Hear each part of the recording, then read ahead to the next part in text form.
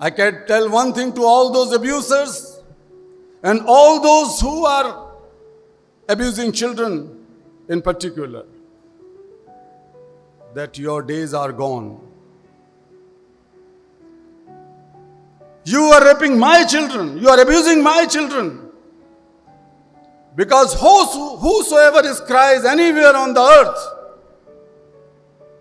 due to any kind of abuse and exploitation, I listen it from the distance because when child smiles, God smiles. When child cries, God cries and tells us that change it now. For me, putting an end to the cry of children is my worship, is my worship. And I wanted to see that you should become your worship too.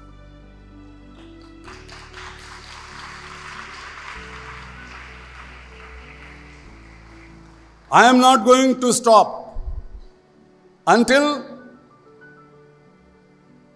this abuse and miseries and exploitation, trafficking and violence against children stops.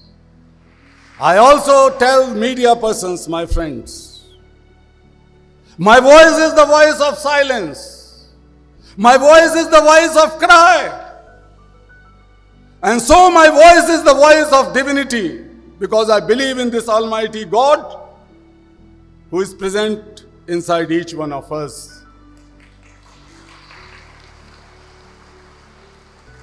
So, dear friends, let us march. Let us march